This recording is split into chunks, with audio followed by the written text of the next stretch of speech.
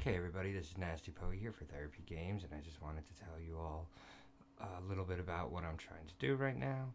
I know it's been a long time since I made a video, however, I'm still working on some things.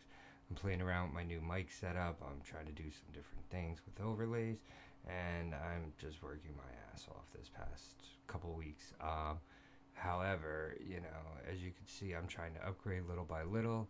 Uh, I upgraded my mic, my webcam is pretty decent. I just gotta, I think, next upgrade the computer. I don't know if my processor's strong enough to do everything I want to do, and my streaming is shit because of my internet. So there's no live streaming as of right now. I apologize. Uh, maybe I will live stream uh, this one day. That would be fun, uh, and just do like a talk. But as of right now, I do not have the ability to live stream videos games because it's gonna be choppy as shit. Um, also, if anybody knows how to help me with my uh, video processing stuff because it's choppy as shit in Overwatch, um, greatly appreciate it. Uh, peace.